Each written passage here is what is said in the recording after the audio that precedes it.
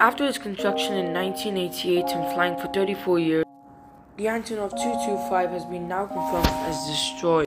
Reports first occurred that the aircraft's potential destruction was, on the 24th of February 2022. Then it turned out to be true as the hangar was shot down by the Russians military.